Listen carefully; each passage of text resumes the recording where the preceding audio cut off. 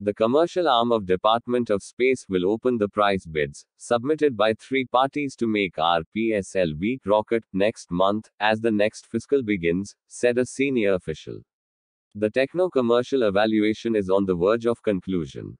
Once that is done, the price bids submitted by the three industry consortiums will be opened.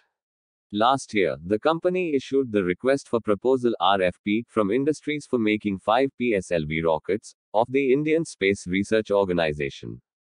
Three proposals were from Hindustan Aeronautics and Larsen and Toubro, Bharat Electronics, Alpha Design and BEML, and Bharat Heavy Electricals Limited.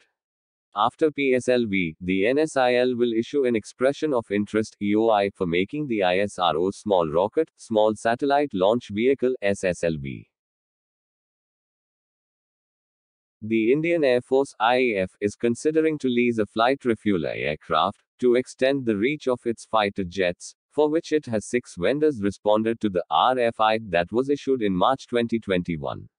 IAF is presently going through the vendor submitted documents and will start evaluations before it selects the L vendor that also meets technical requirements. Air Tanker Consortium has offered A330 MRTT Boeing KC-46 Pegasus, Russia has offered its IL-78, French Air Force also has offered its A330 MRTT, and a US-based company has offered its KC-767 tanker. India successfully tested a surface-to-surface BrahMos supersonic cruise missile in Andaman and Nicobar on Wednesday, defense officials said. It added that the extended range missile hit its target with pinpoint accuracy.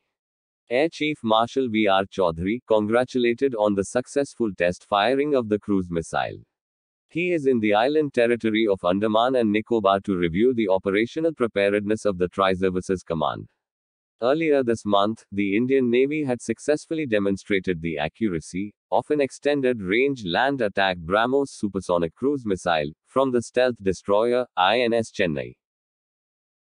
The ongoing conflict in Ukraine has increased the urgency over an upgrade of India's frontline fighter fleet of Sukhoi 30 MKI that depends heavily on Russian supplies. The officials have urged to integrate the locally made systems into the Sukhoi 30 MKI combat aircraft at the earliest.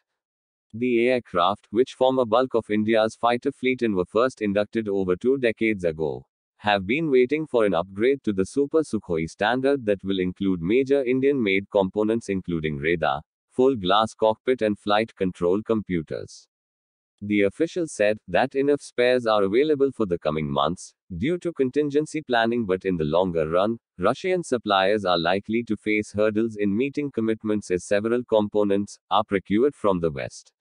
Spares and supplies from Russia for the Indian fighter fleet amount to almost 6,000 crore rupees annually. The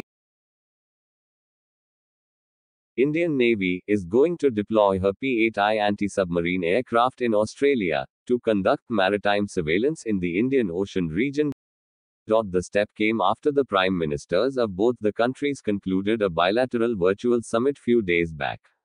The information about the deployment was released almost 24 hours after it concluded, and flagged the prospect of Australia and India striking reciprocal access arrangements that would make it easier for military exchanges.